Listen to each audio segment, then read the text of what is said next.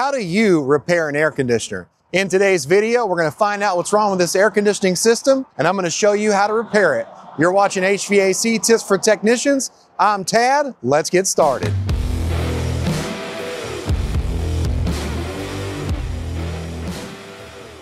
We got a call, the air conditioner's not working. This is a package gas unit. How do we know? It's got a gas line, and right now, feels like they're using the heat mode. So let's go inside and turn the thermostat to the cooling mode. The customer is using the heat mode right now because it's cold in the morning, it's warm during the day. Let's go ahead and push the mode button and select cooling and then run the temperature down to, it's 72 in here. So let's just put it on 70. Now, let's go find out what's going on with the air conditioner. Well, it doesn't sound good. I can hear the compressor, but the fan is not spinning unless you forcefully spin the blade. I think I know what could be the problem. First step, let's disconnect the power. So we can either turn the breaker off or unplug the disconnect. Now I'm gonna use my drill, my 5 16ths. I'm gonna take all three of these panels off.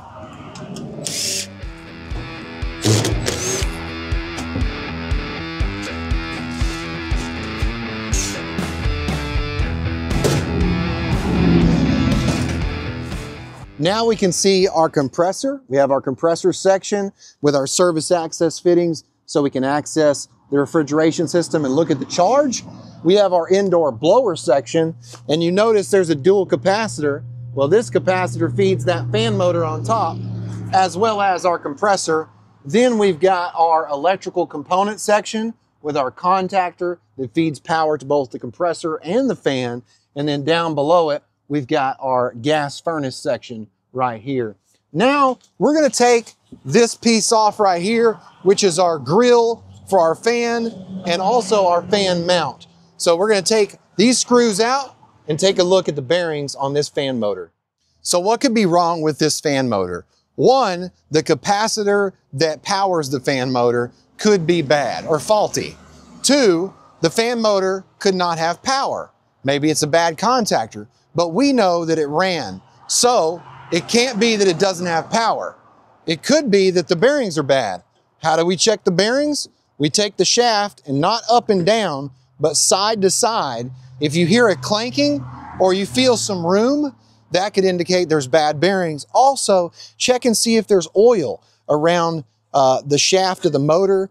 Maybe if it's leaking oil, that could be an indication that we have a bad fan motor. Since I don't see bearings that are bad and it easily spins, I think our problem could be a capacitor. So let's check that next. Here are the three wires that come from the outdoor fan motor and lead down into the compressor section. We have our black wire, which is one side of the line.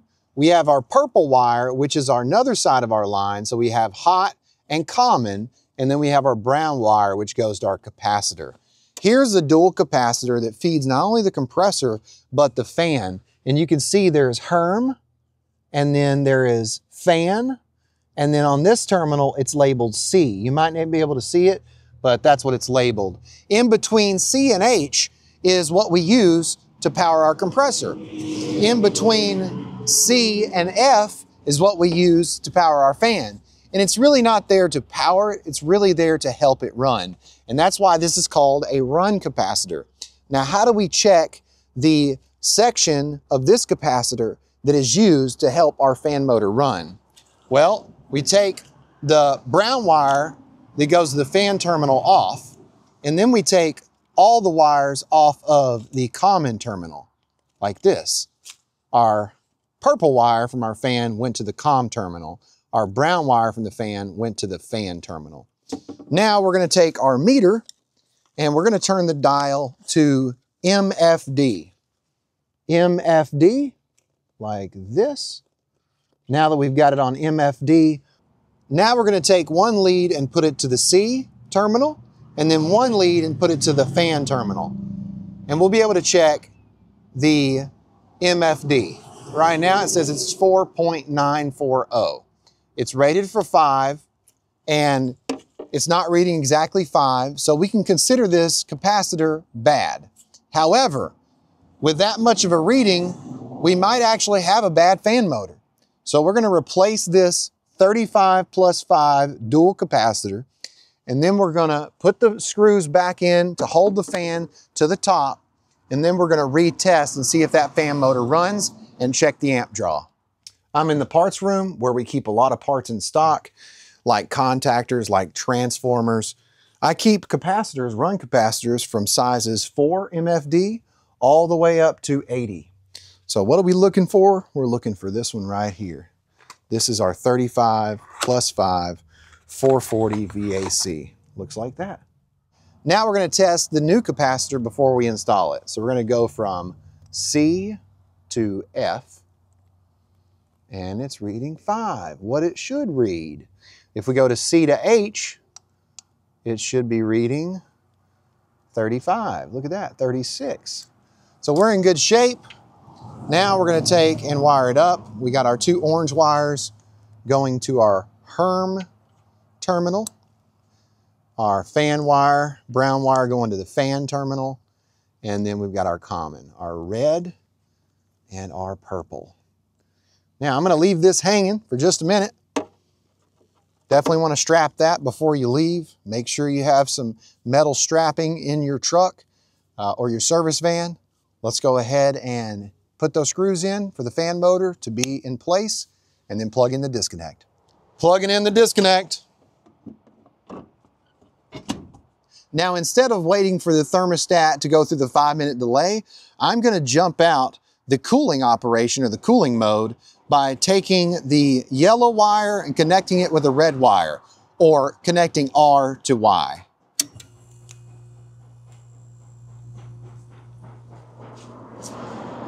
The fan motor is running. So the capacitor was the problem. However, we could have a bad fan motor or the fan motor could be going bad. I have changed capacitors and then had to come back and replace the fan motor. If you feel the fan motor has a chance of going out after you leave, go ahead and replace it or at least admonish the customer and write it on your ticket. Now, let's check the amp that we should have and then we're gonna measure with our meter. Let's take a look at the service facts and see what our amp draw should be. So if you take a look at the model number, this is a 3024. So it's a 24,000 BTU unit. So it is two tons. Then we go down, 2007 was the manufacture date. And then all the way down here where it says condenser, right? It's single phase, 60 hertz, full load amp should be 0.5.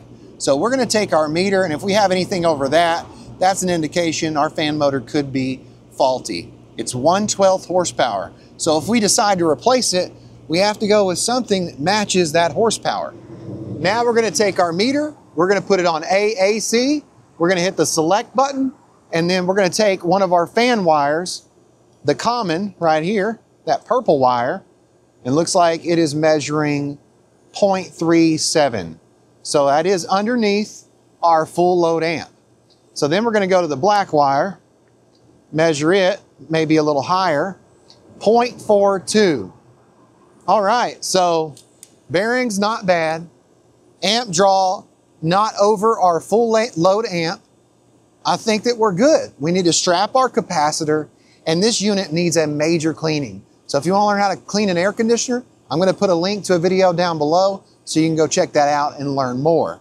Now, we're gonna do some schematic reading and I'm gonna show you some of the common problems that we may have in the field and then we'll wrap this up.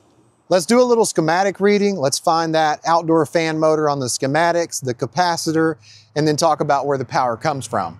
All right, so you can see we've got a few motors right here. We got the inducer motor, which is used for heating. We got the outdoor fan motor, which is what we just finished checking. And we got our compressor. Now, if you look at the outdoor fan motor, we got a black, a brown, and a purple. If you follow the black back, it goes to the line side of the contactor. That's the incoming power side. Then we go back here to where the purple wire is. It connects to the C terminal, which was the terminal that had the red and the purple. This right here is our capacitor, our run capacitor. If we go back and we find the brown, brown goes over to the dual capacitor and lands on the terminal labeled fan. So where do we get our power? So the black is one side of the line that comes from the contactor.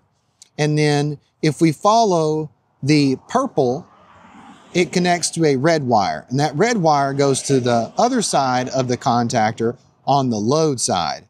So if we have power to the unit, one side of the line is always hot for the fan. And then when the contactor closes, we get the other side of the line. And this is what energizes that fan motor. And then we've got our, of course, brown that goes to the fan terminal of that capacitor. Knowing how to read schematics makes it super simple for you in the field to know where everything is going. We're back in the parts room. I'm going to show you a couple different types of motors, the differences. Then we're going to look at motors we keep in stock here to make sure the customer has what they need. So this is the first motor. This would be an outdoor fan motor, and this is a closed type motor. And you can see the only holes are on the bottom. So if the motor's mounted like this, there's no way for water to get in that motor. You would never want to see a motor like this installed outdoors. This is an open type motor.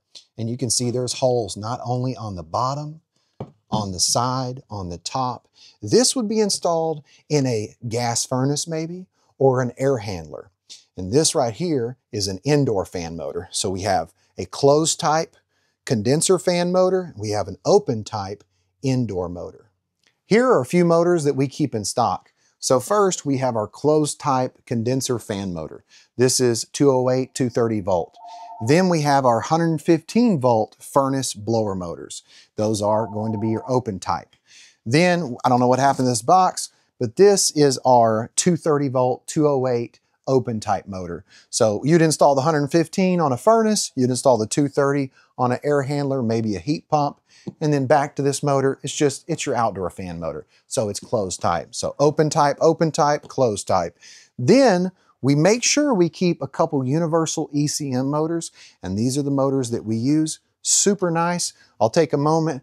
I'll just glide over these boxes. That way you can actually see the numbers.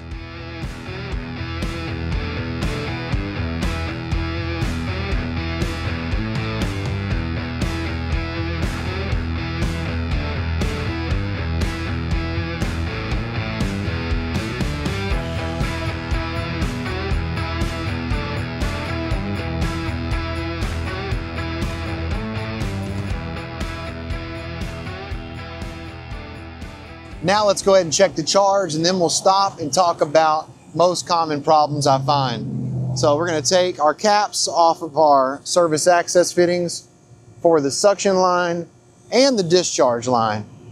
Suction line is the inlet pipe for the compressor, hooking our low side blue hose to this, and then we're gonna hook up our high side red hose to the discharge line, which is the outlet pipe for the compressor.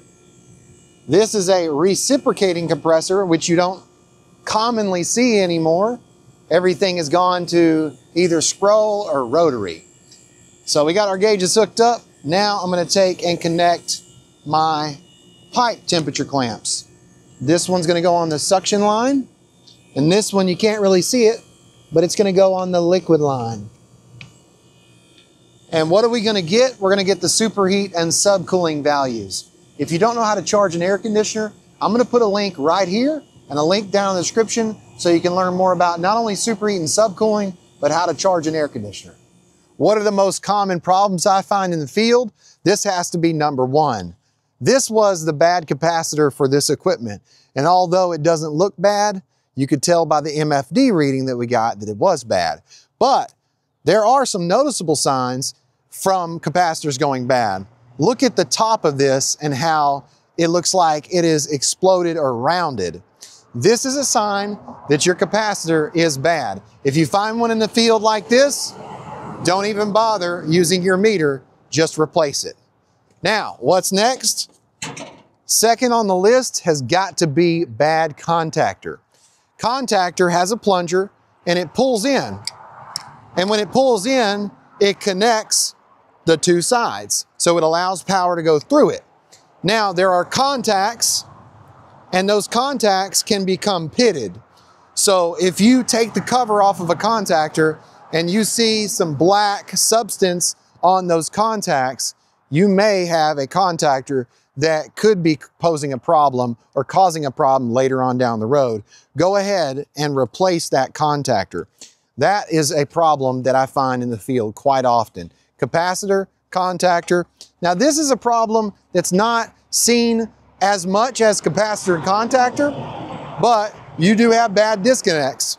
And you can see this is a disconnect, non-fused 60 amp.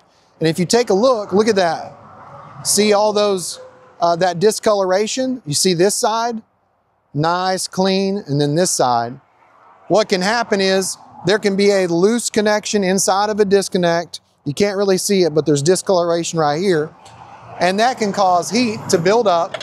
And whenever you get that heat build up, then you can have a malfunction. So a disconnect could be the problem as well. And what will happen is you'll have power going to the disconnect, but no power going to the unit. You may have a disconnect that's fused. And if you do, your fuses could be bad. If you don't know how to check the fuses, you take your meter, put the dial on ohms, and then measure across the fuse. If you read continuity, your fuse is good. If you read OL, your fuse could be bad. So if you have power going to your disconnect, but not from your disconnect to the unit, you could have a bad fuse. If you see a start capacitor like this one right here that's used to start the compressor and it's got this substance leaking out of it, that's an indication that that start capacitor is bad. Take your meter, read the MFD, look at the rating. If it doesn't match up, replace that start capacitor. A few other problems that you can find in the field is bad thermostat, bad thermostat wire, bad fan motor, a refrigerant leak, bad compressor. These are just a few common problems. If you like this video, hit the like button, subscribe, and smash that bell, ding, so you know what I'm doing. If you want more videos like this, go check out my playlist, HVAC Tips for Technicians. I've got hundreds of videos in the field as a technician to help you be a better technician. You've been watching TADDY Digest. This is HVAC Tips for Technicians. I'm Tad, and I'll keep you cool if you let me.